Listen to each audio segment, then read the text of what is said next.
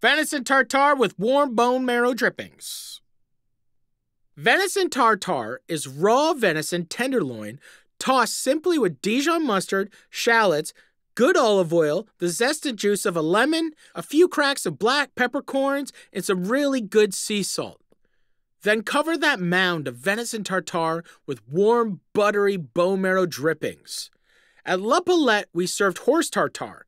People would come for this dish like fiending crackheads to their dealers. Once customers tasted that raw horse, they went mad for it. I know eating horse is controversial.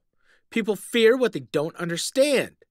These beautiful, smart, strong animals are often raised for the purpose of eating, much like beloved cows, pigs, lamb, rabbits, goats, chickens, turkeys, quails, trout, deer, wild boar.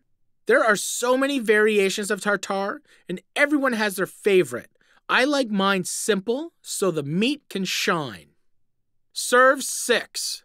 Prep time one and a half hours. Ingredients four two inch pieces bone marrow, one sprig rosemary, two cloves garlic peeled, one pound venison tenderloin, two tablespoons peeled and finely diced shallots, two egg yolks, one tablespoon Dijon mustard, plus more as needed, Tabasco sauce, zest and juice of one lemon, one handful chopped flat leaf parsley, good olive oil, kosher salt, one loaf good sourdough bread sliced, cornichon for serving.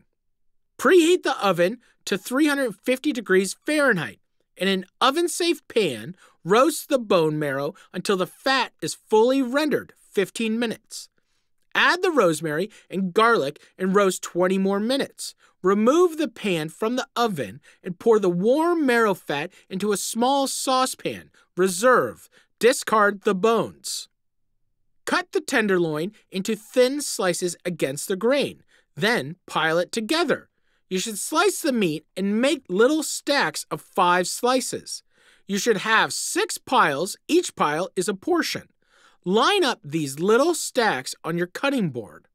Then julienne those stacks and dice. Place the meat on a paper towel lined plate and place in the fridge uncovered for up to one hour. In the meantime, prepare the rest of the recipe. Remove the meat from the fridge and place in a bowl. Add the shallots, egg yolks, mustard, seven splashes of Tabasco, lemon zest, half the lemon juice, and the parsley. Now drizzle enough olive oil to make it look like a glistening Arctic glacier. It shouldn't be swimming in oil, but it should be enough to make it loose and yet still together. It should have the consistency of an oozing warm egg yolk. Gently stir until combined but not mashed. Keep the meat moving, using your spoon to dig into the yolks, breaking them into an oozy mess that coats the meat. Keep stirring until it becomes one mass. Taste. Add salt if needed. If it needs acid, add more lemon juice. If it needs tang, add more mustard. Grill the bread and season with salt. Charred bread is best for venison tartare. Spoon the tartare on the bread and cover it with the warm, buttery bone marrow drippings. Serve with a cornichon if you feel like it. Enjoy this beautiful meat the way it should be raw.